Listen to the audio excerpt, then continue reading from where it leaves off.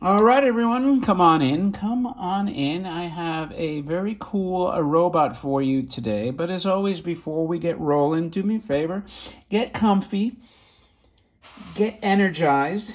Maybe it's going to take a caffeine, a coffee, or tea, or chocolate bar, or you're just chilling out from a stressful work day and you're just unwinding with a little bit of vodka and some OJ or something like that. Whatever it is kick back, relax, and if you're lurking about and you still haven't subscribed, do that, please, because that's very important. And uh, with that out of the way, we're going to look at a very cool robot by Alps that they reproduce for some reason. Of all the toys to reproduce, I guess this was easy because it's monotone, no real lithography, and um, that's that. And I think they, somebody, if I'm not mistaken, there were like some colored versions of this toy, weren't there? Weren't there? Were, were there like the painted ones? I gotta see. Was it this particular toy? I think it was this one that had the painted versions that people paid some big bucks for. I think they were at a toy fair or something. But anyway, we have uh, the the Mr. Robot, the mechanical brain. He is uh, kind of, you know, definitely has some quirks to him because. I actually had a like. I've never owned this one before, believe it or not. I think I had one loose one that wasn't mine and uh, I never really like played with it or messed with it. So I kind of didn't realize what a pain in the ass it is to figure this guy out. But anyway, here's the cover of the box. Kind of cool. Uh, very plain, you know, got like a kind of a silhouette of a city scape back there, and he's, you know, doesn't have that zoomer effect for sure, but a nice 50s box. Watch lights go on and off while he walks, operates on flashlight batteries. Make him walk by winding up the spring mechanism. So he's both battery operated and wind up, which is kind of unusual. You don't see too many toys like that. And he also has multiple patents. Here's a close up of the Alps. The Alps Mountains was the logo for Alps Japan. And here's his color. I have to find uh if I find the the sale of the colored versions of these, I'll link it. But anywhere, he has anywhere. anyway, he has a lever on the back of the head that operates the light. So you have to install. And, I, and that's the thing. I, I didn't. And this, by the way, is a very, very clean, super clean example. Look at this little bit of paper lifting up there. Ooh, ooh, ooh, um, see, I should have just not rushed it over there and just, you know, put a little bit of adhesive on that. Anyway, that's that's my that's my uh, impatience. So the switch on the back, I guess, controls the wind-up message. Uh, wind up mechan- mechanism, and the slide switch controls the lights. And the back of the toy says, the, the, the side panel of the box says, the toy is exclusively imported to the United States by Flair Import Company. Flair imported quite a bit of toys. That's kind of uh, interesting that they devoted this entire uh, side panel or end panel just to tell you that it was a Flair import and it's pretty much the same. And, and on this end panel, though, it, this is how, kind of how I figured out. By the way, look at this logo here. Registered a trademark mark by RVT Japan VIA. Isn't that kind of cool? See, you don't see these kind of uh, little subtleties in a lot of other videos online. Even though I ramble, I show you the stuff no one's going to show you. So it takes one C-cell battery, which I did load in here. And the way it works is you have to move the spring forward, and then the lid just automatically pops up. I'll show you.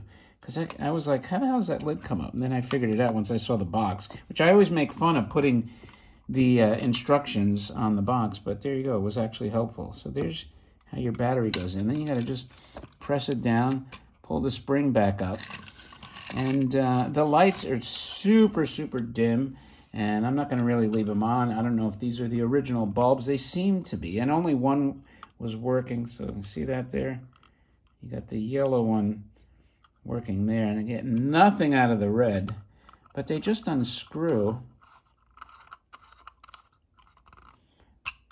Let's see if we can get one more. No, I get the yellow. Usually I dim the lights, but this isn't something I'm going to keep on. So very minimal action. Kind of reminds me of some of the cars, you know, that like the early cars had a battery function just for the lights in the 50s, and then the rest what might have been uh, friction operated. So As for the toy, he's just gray, and you can see the key actually has Japan stamped on the side of the key. Some nice rivet details there.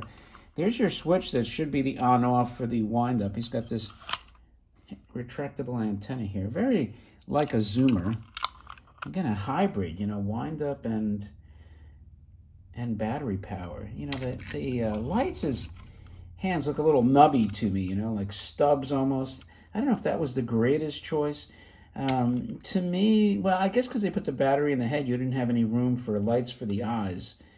But I wish they would have figured out a different location to put lights. Maybe the chest area here. Usually this was stamped open.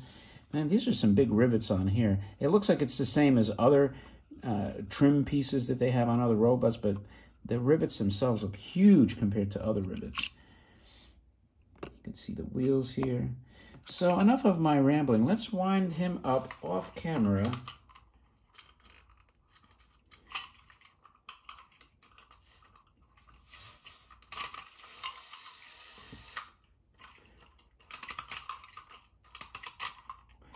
And let's see if he go, go, goes.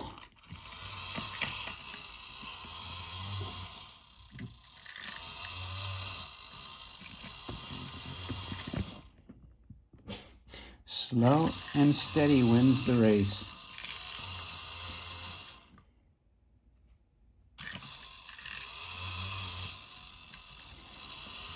Oh, he looks like he's going to topple over at any minute, huh? Now the thing is, he's got a lot of juice in there. I can't really overwind him.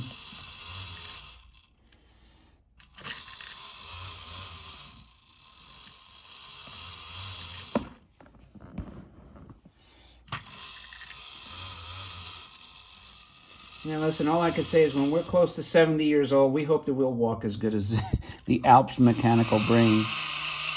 Let me unwind them a little bit. I'll try to give him a couple more. He doesn't really have a lot of turns here.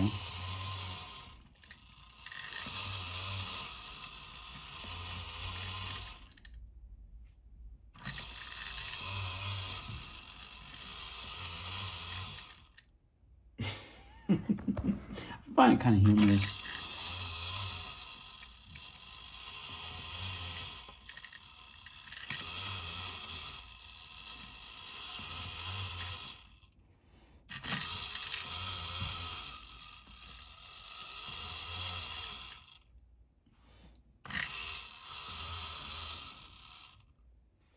Come on, buddy. Maybe a little uh, a little oil would uh, would loosen him up. I'm trying to see why he leans so much. He's in like excellent condition. I guess that's just by design.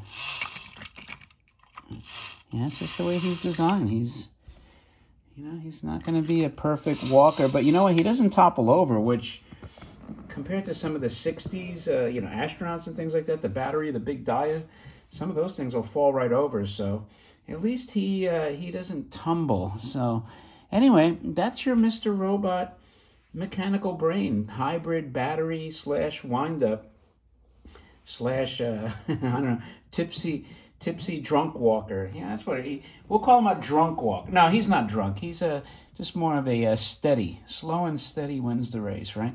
Anyway, if you like Mr. Robot the Mechanical Brain by Alps, thumb up the video and share it. And uh, if you haven't subscribed, please do that. I appreciate your time as always. Thanks for watching. And uh, with that, my friends, I will talk to you later.